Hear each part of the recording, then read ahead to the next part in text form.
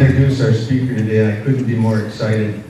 Um, Steve Foster is a leader of men. His current calling is as the pitching coach for the Colorado Rockies. We're just fortunate that he married a Wausau girl in the off season, lives in Wausau. He's been on the tour, Wausau on Tuesday, La Crosse yesterday, and here today, and he drove up from La Crosse this morning, and I told him when he got here, it's, it's just proves that no good deed goes unpunished. but we want to give a really warm Chippewa Valley welcome to our speaker today, Steve Foster.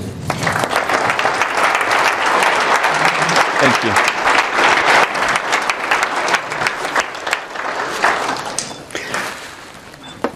So I got here early. I left really early. The, the weatherman in La Crosse at 5:03 a.m. this morning used the word dicey.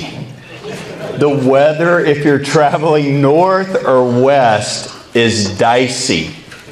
So I quickly hopped out of bed, showered and hit the road and did beat some of the snow, but it started getting interesting uh, for a Texan who's lived up here for about 15 of my last 30 years. So I have adapted some, but I'm not comfortable with what I just drove through. Um, it was an exciting morning. Uh, it's my pleasure to be here with you.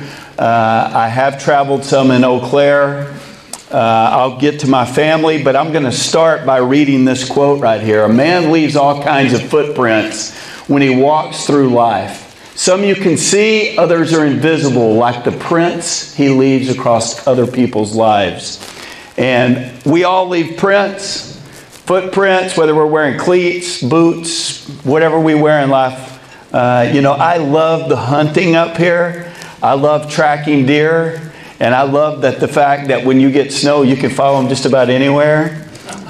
It's a fact, though, wherever we go in life, we leave prints. And for me in my life, I've used these things right here to leave footprints with the people that uh, I've been blessed to be around in my life. And I'm going to share a little bit about that with you today.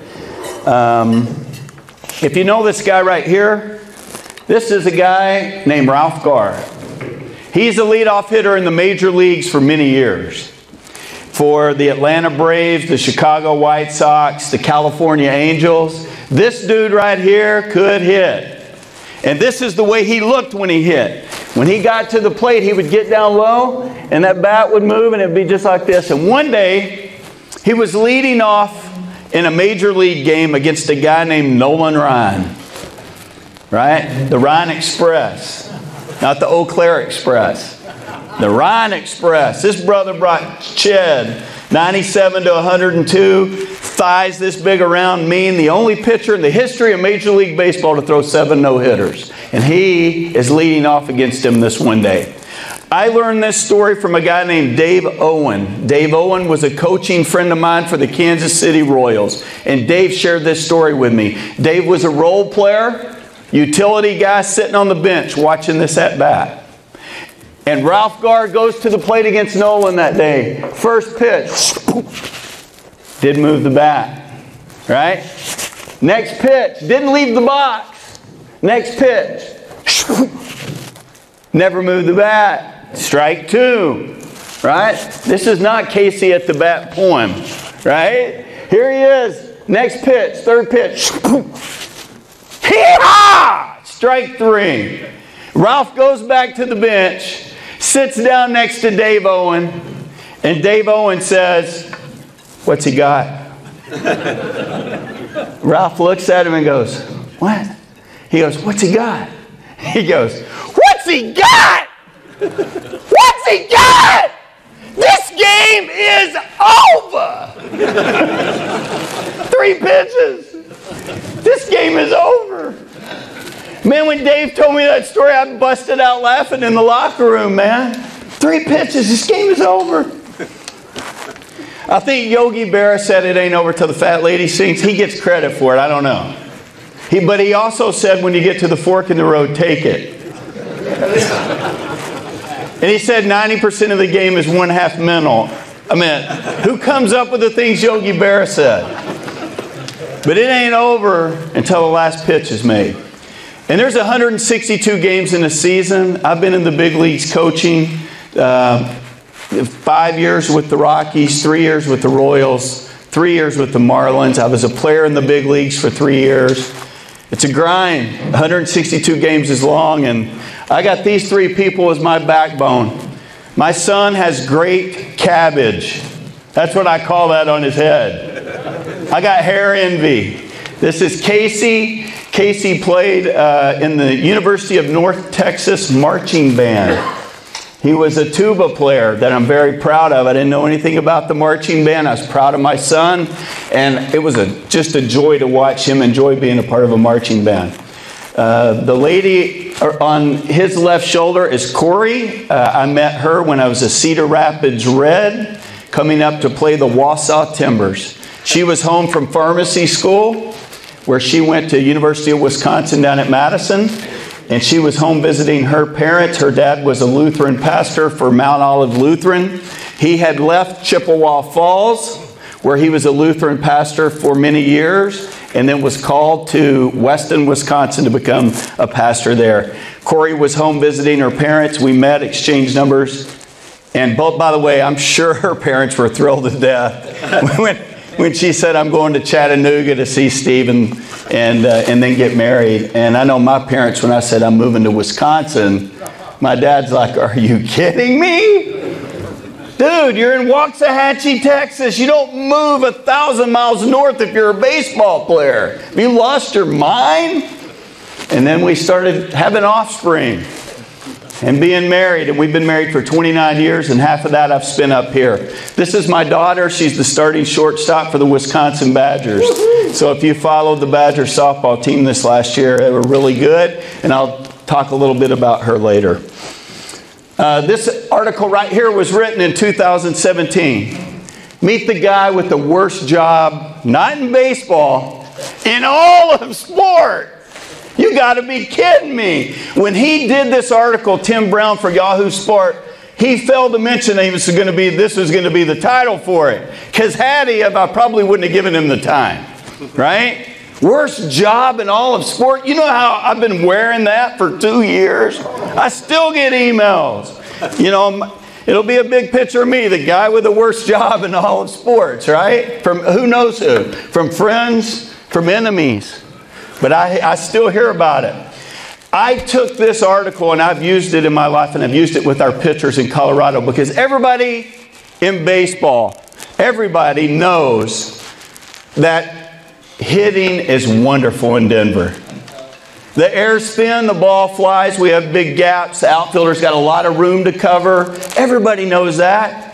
He didn't need to say this for people to know that, I, that people think I have the worst job in sport. I turned it and I took to our pitchers. I said, we're going we're gonna do it a little bit different. It's why I was hired.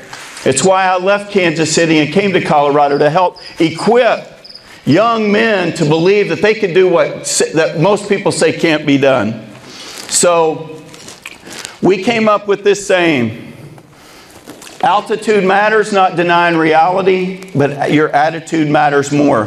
Defining for our pitcher's attitude, the patterns of your thinking, of your mind and your heart that are on display for others to see. Your teammates, the fans, the 10 year old at the end of the dugout, your manager. We don't stare down umpires when we don't get calls. We don't clear out the bat rack ah! and, and throw out an F bomb for the 10 year old to see. But we act like we're under control and have control of the game and everything that we say and everything that we do, and that's very important to me. We don't make excuses. So, my dad and I in 2003, him being a little league coach for over 30 years, he had five children. So, he has a lot of stories. I wrote in this book about my perspective of being a little league player, a college player, a junior college player, a minor league player, and a major league player. So it's got both of our perspectives in it. But in here, because I've been a pitching coach for a long time, I have the top 50 excuses of a pitcher. You're going to appreciate this one. Keith, I'm going to do this in less than one minute. You got a clock? Here we go. I do. Top 50 excuses of a pitcher in less than one minute. Listen up.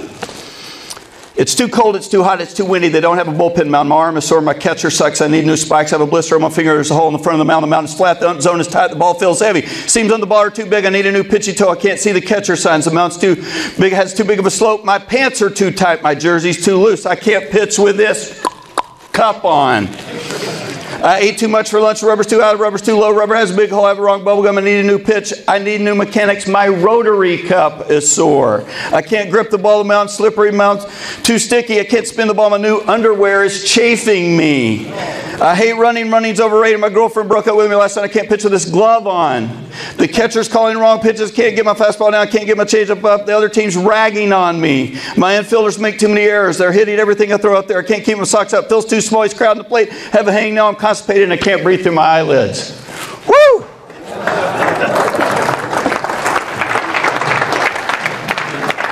Mm. Number 50 is from Bull Durham, if you saw the movie. The other 49 I've heard. I've been a pitching coach a long time. Baseball is a game of excuses. We cannot tolerate and allow excuses in Colorado for pitchers to make excuses because you got the biggest excuse on the planet Earth already because you pitch on the moon, right? You pitch on the place that people say you can't pitch. So we don't allow excuses. So we narrowed it down to six things control the strike zone, control your emotion, control the tempo, control the count, control the running game, and control the four facets of pitching uh, change of speeds, movement, location, and velocity. So we take these six things and we say we have the right attitude, the right mindset. And we're going to narrow it down to these six things.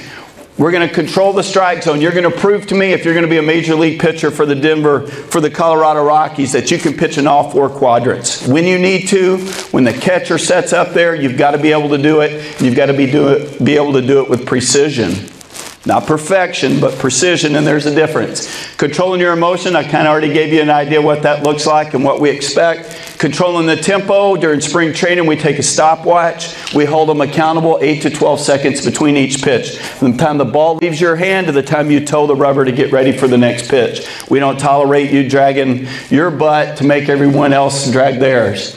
Uh, controlling the uh, count, 001122 counts, even counts, action pitch counts. They're not strike to ball pitches. You're not throwing your filthy curveball or your changeup that fades off in 001122 pitches.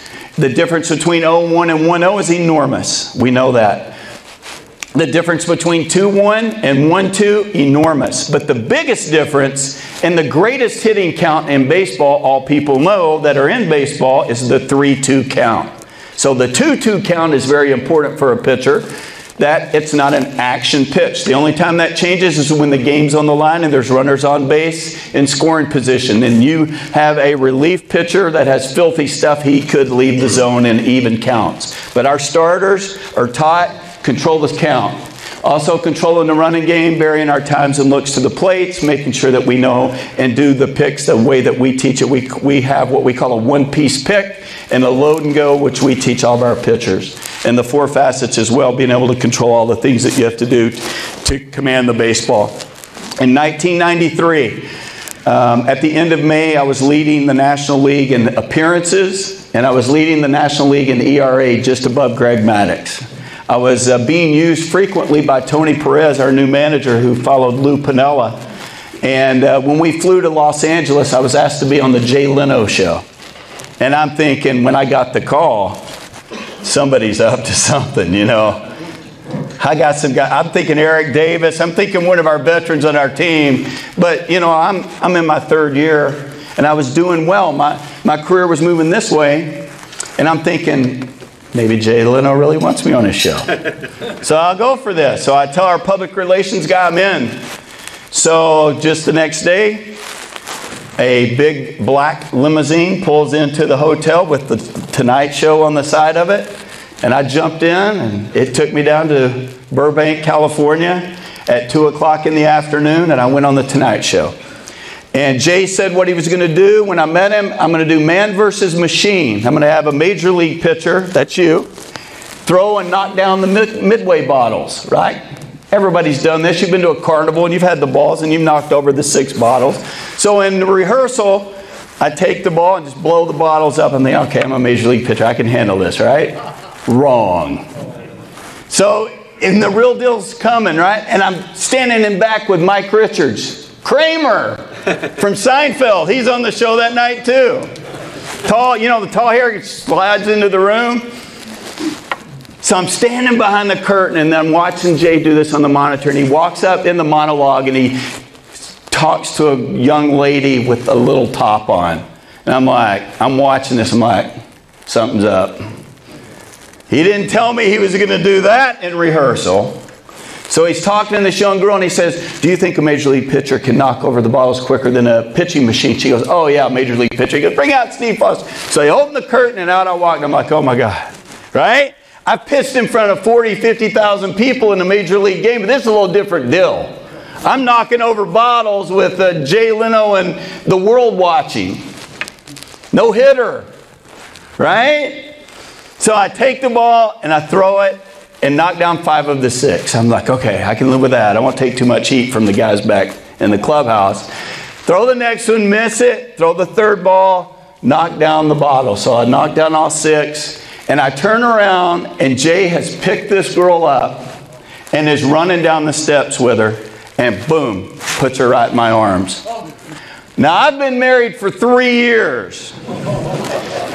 And I'm on national television with a girl with a little top, and I'm thinking, I'm dead. and I just turned around, walked off the stage her. They opened the curtains, and then I dropped her, and I'm thinking, I called my wife immediately. No cell phones back then. I used Mike Richards' phone. And I said, I, We've got a problem. I, Jay didn't tell me he was going to do this. But the story is this the next day, I pitched two innings that night against the Dodgers. Uh, did well, no problems. But the next day we flew to San Fran. And I went to get up in the game, and my shoulder was killing me. And some guy, in, I went on the DL, and some guy in San Francisco wrote, Foster heard on Leno show. And it still shows up in the 10 wackiest injuries in the history of all sport. Uh, Foster heard on Leno show. It's not true. I wasn't hurt, but it, like my dad said, if it keeps your name going, that's great. Let him read it. Um, I did have to find direction after that, though, because my career was over. And remember, I said it was, it was moving this way, and it was just done. So I went to the two people who I trusted the most my father and my grandfather. My father, Steve Foster Sr., said, Son, you need to finish your degree. I signed as a junior into pro baseball, which I did. I coached at University of Wisconsin Stevens Point in 1997 and 98, where we went to the College World Series for the first time in school history and then lost in the regional the second year. Um, my grandfather, who was a World War II vet, Kenneth Bryant, um, he told me on the island of Okinawa that he had things that helped keep him alive. And the first thing he said was his faith in God. The second thing he told me was his Bible. And the third thing he told me was he had a personal mission statement. Now, when I've shared that with most men, and I've shared it with many, most people don't even think about that. You know, you work for an organization, you work for a school, you know, wherever you're at in life, and they, your companies usually have a mission statement. But my grandfather said that his personal mission statement was what helped keep him alive, along with his faith in God and his Bible. So for me, I took my Bible and I came up with five things that I found in the Bible that, I that it became a part of my mission statement in life. And I'm going to share this with you today. And that is encourage others. Came from 1 Thessalonians 5:11, therefore encourage one another and build each other up, just as in fact you're doing. Now each one of us has the opportunity in our lives to encourage or discourage in just about every choice that we have in our life. There's nothing better than being a bow hunter in the state of Wisconsin. And I know there's some bow hunters in this room. But there's nothing better than sitting, being up in a tree, being alone, it being quiet, and you hearing, ha, ha, and you look up and you see that right there. It's a powerful moment, man. It's, it's awesome. But, you know, in my life, when I think of my family, and I think of the teams I've played on, this is what it looks like. Every once in a while, you got to get the big hit. You got to make the pitch. You got to be the windbreaker.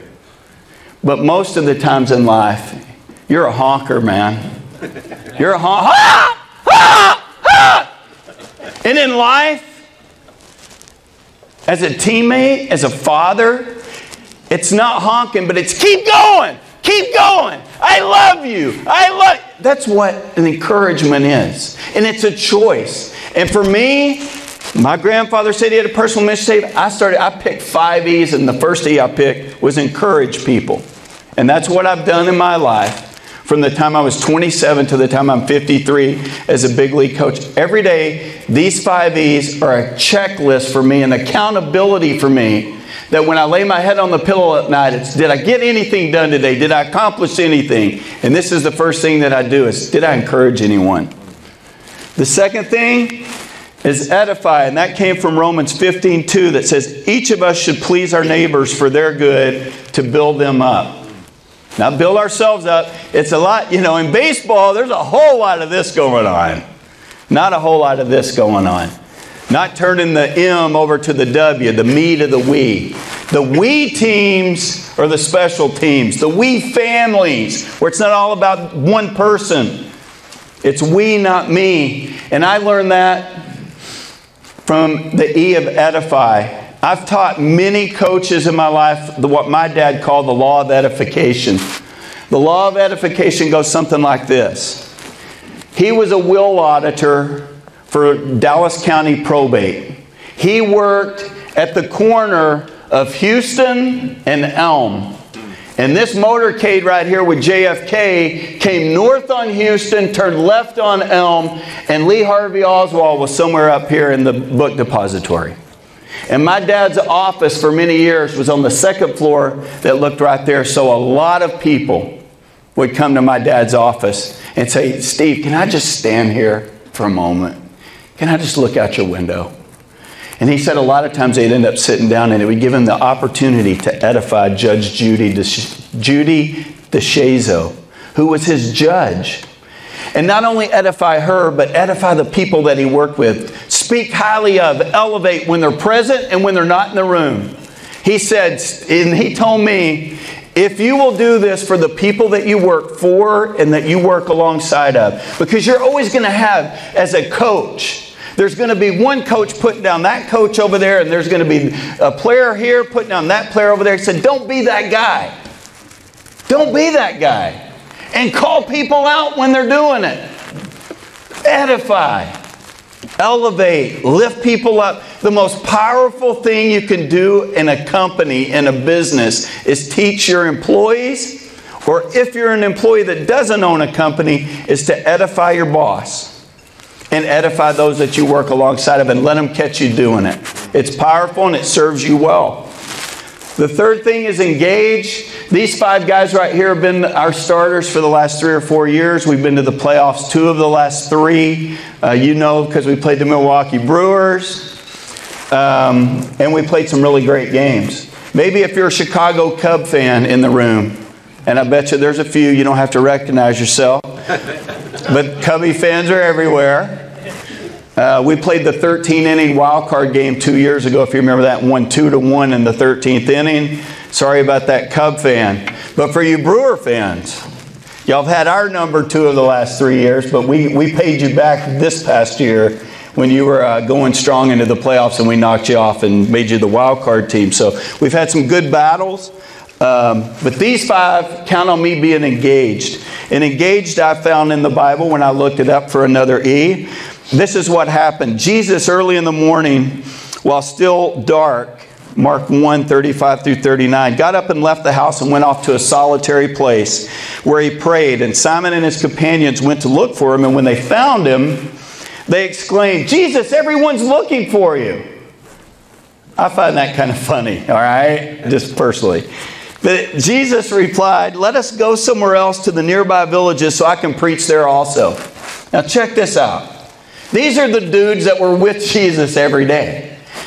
And they know he goes and prays in the morning alone. All right, so what's the big shock there, Peter? Peter always has to open his mouth. If you know God's word, if you know the Bible, this dude speaks up. You got to love Peter. He's the go getter. But he's like, Jesus, where are you? We're looking for you. You know, I'm thinking Jesus would go, Really? I'm the Son of God and I'm kind of talking to my father. Do you mind? But Jesus didn't do that. He said simply, Let's go. Let's go. Because he's always, Jesus was always getting engaged with the people he was around. He was always getting to know people and loving on people and encouraging people. I have to do that with a bullpen coach. I have to do that with, this is our equipment manager. We call him Tiny. That ain't no tiny dude. But I got to spend a lot of time with him. I got to get to know him. I got to spend, you know, invest time, text, sit with, listen, engage. And this is our staff. We have to have fearless vulnerability, criticism uh, with each other. We have to be able to, to take the criticism and give it and not take it personal, and that is so hard. This is Buddy Black. Great left handed pitcher and a really good manager. Really good manager. Here's one way that I've seen him engage. Not with an upside down video. That's pretty creative, man. Can you play that upside down video? Check that out.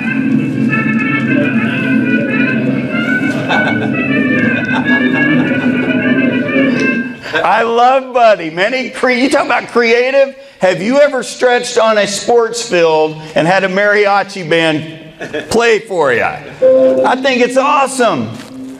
Buddy comes up with ways to create and engage his players. In is that my time to go? No. Okay. Not even close. I know it was for you for you earlier.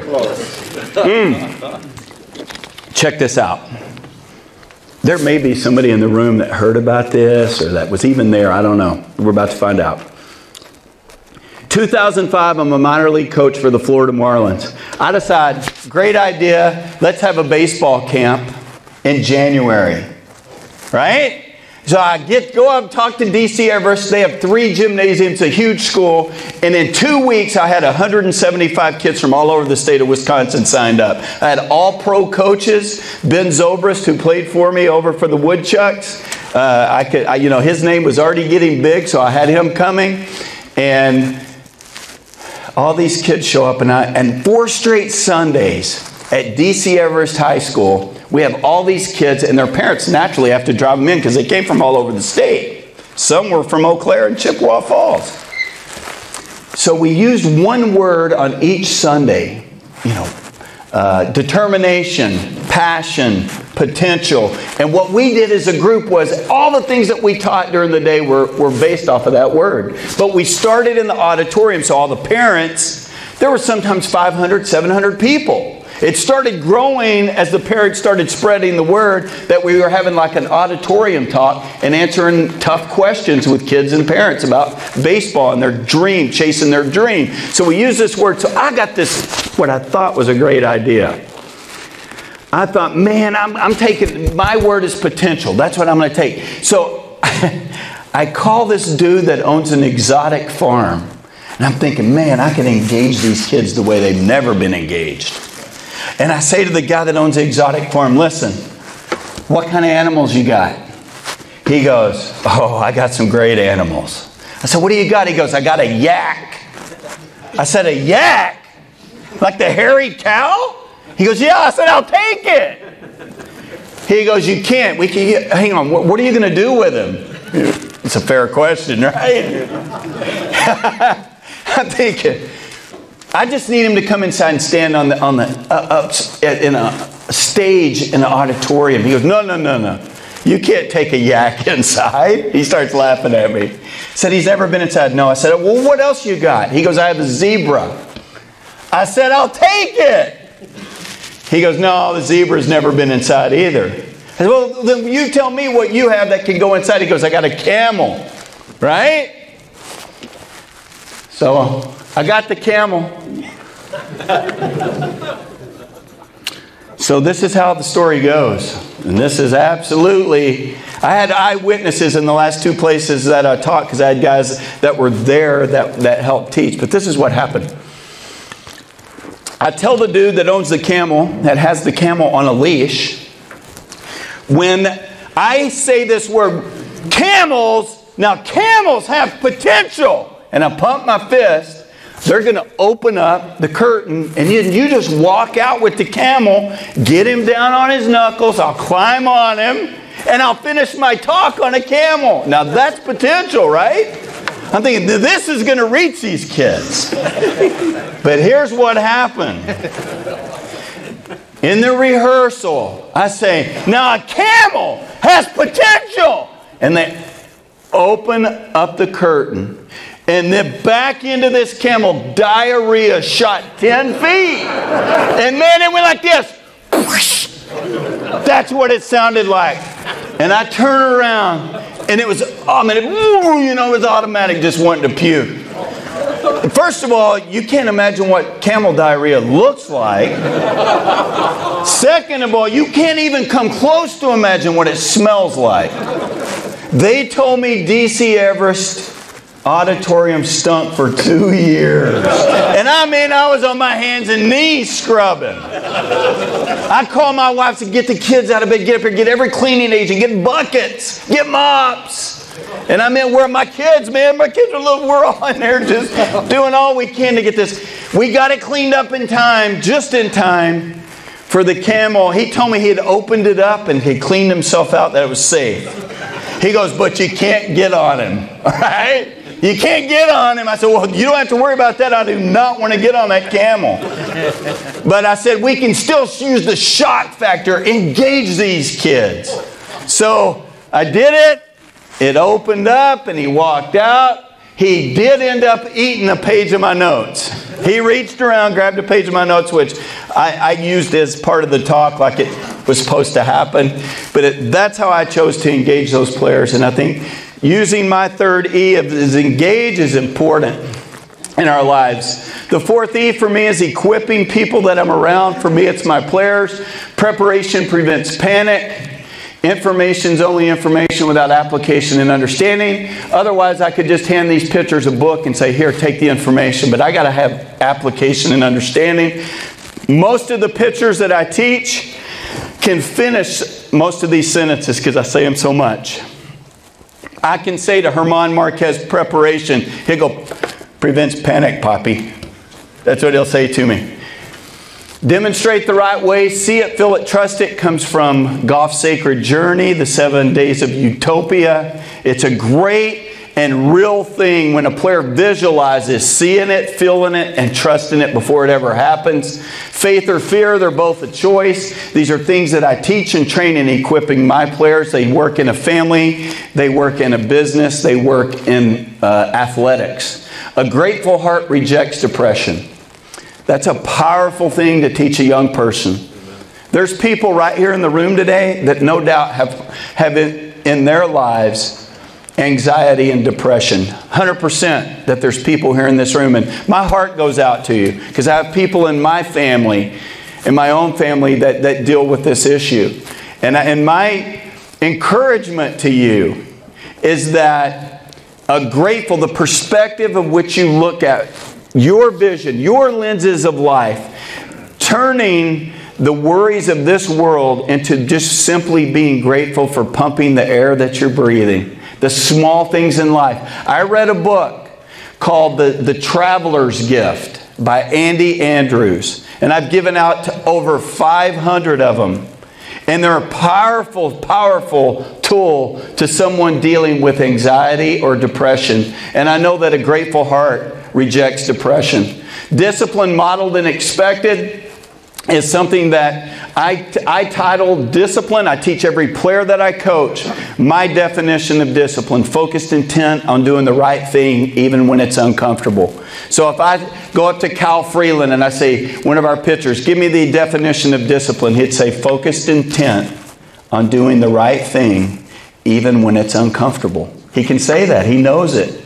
But it's important not only in our families, not only in our teams and our companies, but it's important in life. It, it, for me, it's a part of what we can do in equipping younger people, older people, or anyone.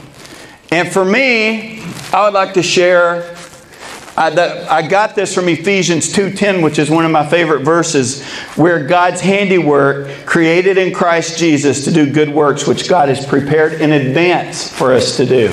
So cool already prepared for us before we even begin. What a great thing when you're a follower of Christ.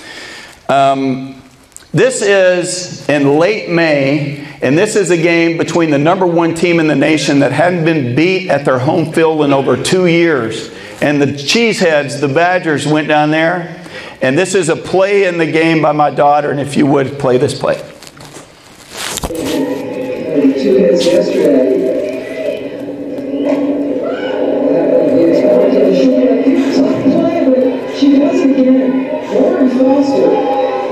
I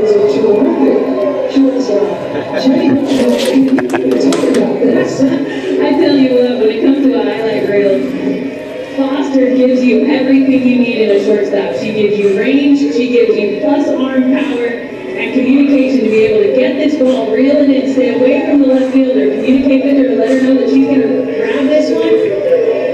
Great drop step, and Lions is a winner. Preparation prevents panic. See it, feel it, trust it. Discipline, focused intent on doing the right thing. I've seen Lauren make that catch so many times in our front yard. We have a front yard that angles up. She'll go out for passes and I'll just throw it. She'll catch it over her shoulder on the run, do a drop step, and throw it back to me. I've seen this catch so many times. Preparation prevents panic. It doesn't matter if you're playing the number one team that's never been beat on their field or not. Great players anticipate. Great players. I've been fortunate enough in my life to coach at the elite, the top level. Great pitchers anticipate. Great hitters anticipate. And anticipation comes from preparation. Preparation prevents panic. If I've already run through it in my mind, and I've run through it in my mind, and, and great athletes do it like that. They already think, okay, if the ball's hit here, I'm going to do that. If the ball's hit there, I'm going to do this. If it's hit short, I'm going to charge. I'm not going to wait back. A pitcher already thinks, if I locate the ball there and I, and I, and I hit it on the end, and I get that slider right where I want it, this is a result that's going to happen. It's amazing how many times it, it works, right? It's amazing to me. Equipping our players. This is a horse, and I'm going to tell you about this horse because I got a little bit of time. Muhammad ruled the Arab world centuries ago. It's fact. He ruled it because of the way he taught discipline. And discipline for him was very important, as it is in the, in the faith of Islam. No doubt. 100%. Do your homework. You should know this. I should know it because many of the countries in the Arab world are the most disciplined people in the world. And Muhammad went out back outside of his tent and he looked and he saw depleted horses. And he got the leader of his army and he brought him in and he said, I want you to take 50 of your best men and you've got a year. I want you to find 100 of the finest horses. And history records this is exactly what he did. The leader of his army walked in just at a year and said, Sir, your horses are in back. He said, Great. And for a year, Muhammad did only one discipline with these horses. When he pulled out the shofar, the ram's horn, all 100 horses would run right to his feet. All 100. Every day for a full year, he taught them one discipline. When he blew the horn, run to my feet, come to me. At the end of that year, Muhammad took the leader of his army and he said, just 100 feet from the bubbling brook down there out back, I want you to build me a stable just big enough for all 100 horses. History records he got it built in a day. And he got all 100 horses in that stable. And for three days and three nights, he didn't give them one drop of water or one bit of food. And history records on the fourth day, he and his army walked out back and he told the leader of his army, Open the gate.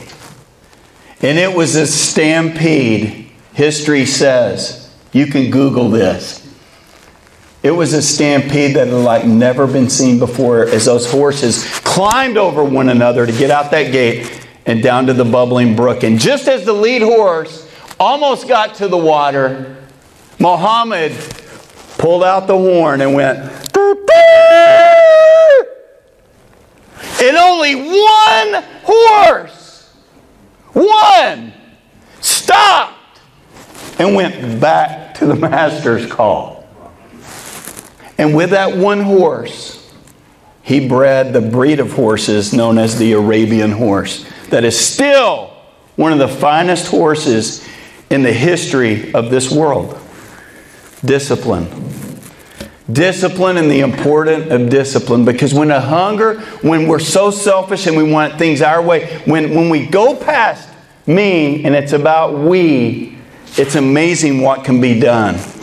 Discipline. The last D is empower. I love this picture, by the way. It's a great picture.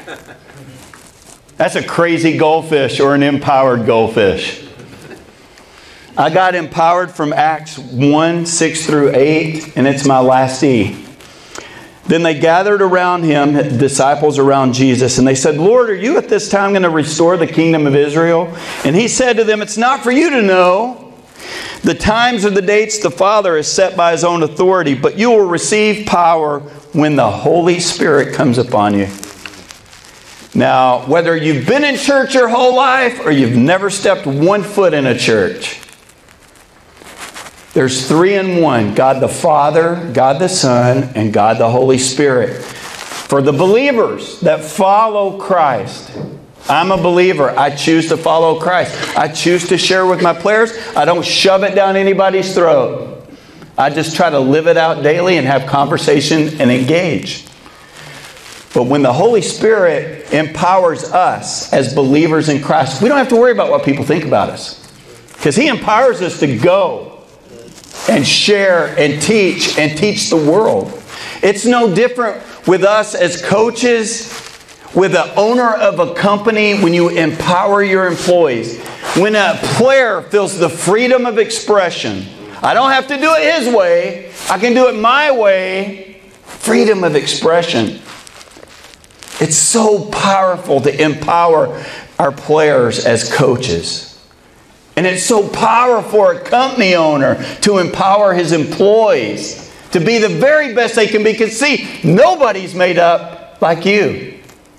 Nobody. Nobody has your thoughts. Nobody has your heart. Nobody has the way that you think through and go about things. And then when you're empowered, the things that you can do. On November the 2nd, 1863, it's the most famous speech in the history of the United States. What would you say that is? Gettysburg Address, right? Who gave it? Abraham Lincoln. And how long was it? Two minutes. The Gettysburg Address is two minutes long, famous speech in the history of the United States. It signified the end of the Civil War. Right? Gettysburg Address has signified this game is over.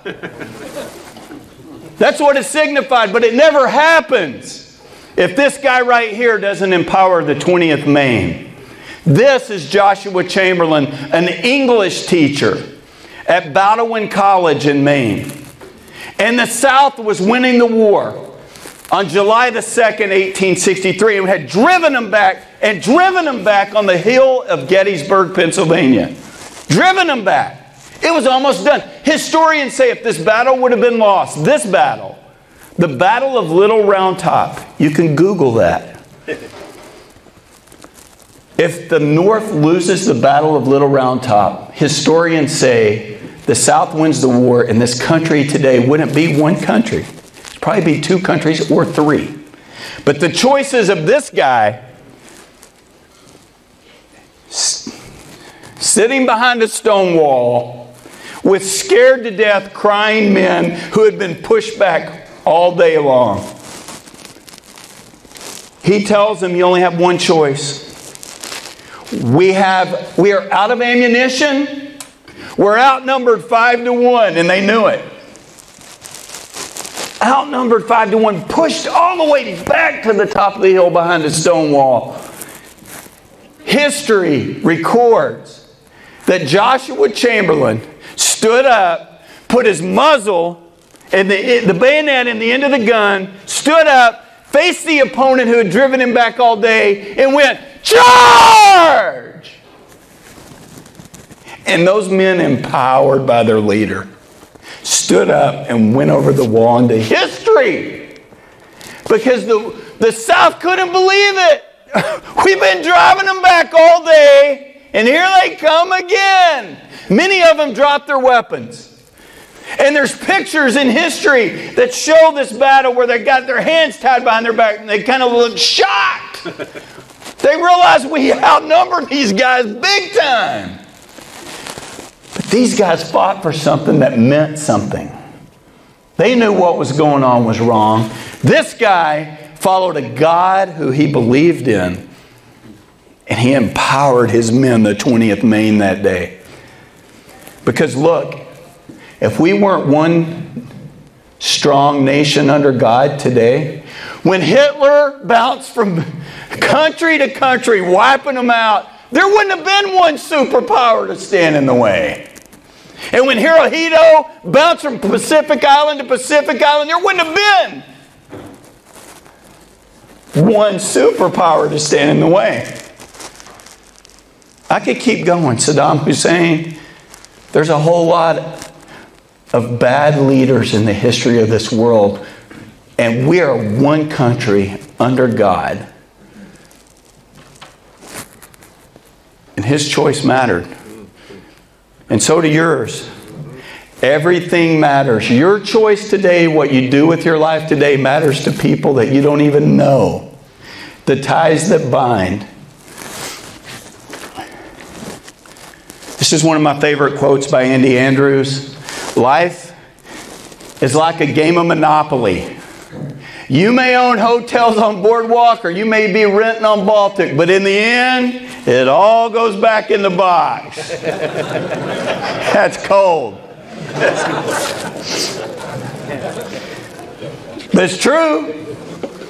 Whether you own all kinds of companies and you're filthy freaking rich, or you're the poorest person in here, it don't matter. When we all die, it all goes back in the box and nothing goes with us. This is what I know and what I want to close with. There's 39 books in the Old Testament, and for 4,000 years, everything pointed to the coming of a Messiah. In the 2019 years that have happened since the coming of that Messiah, everything's pointed back to that day. Even our calendars tell us that. It's a fact. What's recorded by people who lived and eyewitnessed him being on this planet. He came, he died, he was crucified on a Roman cross, he was resurrected, came back to life. And the people that witnessed it and saw it were willing to die for it, for what they believed. Now, a lot of us would die for what we believe. But who do you know that would die for what they don't believe? Pretty good argument. Pretty good argument if you do any type of history study in your life. These people died because they knew and they saw him alive after he died. That's powerful. And while Jesus was here, he said, I've come that you might have life and you might have it more abundantly. He also said, I'm the way, the truth, and the life. And no one comes to the Father except through me. He said it. it's a free gift. And every man, woman, and child is given. Here's your free gift. I love you so much, God said. I love the world so much. And every one of you I made exactly the way you are.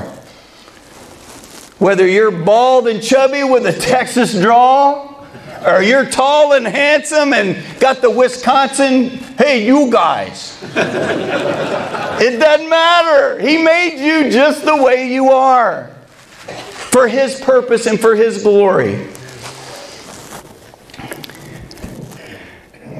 I can't tell you how overjoyed I am to get to share truth with grace. Can't share truth without grace.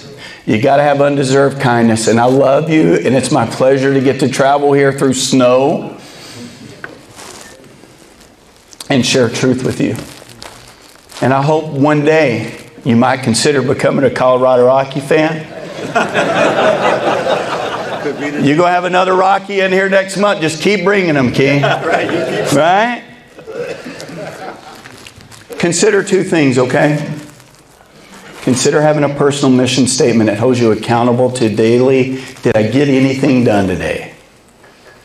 And secondly, consider where Jesus fits into your life. And if he is, is he just a box that you check every day? Got my Jesus in? Got my whatever in? Check, check, check. No.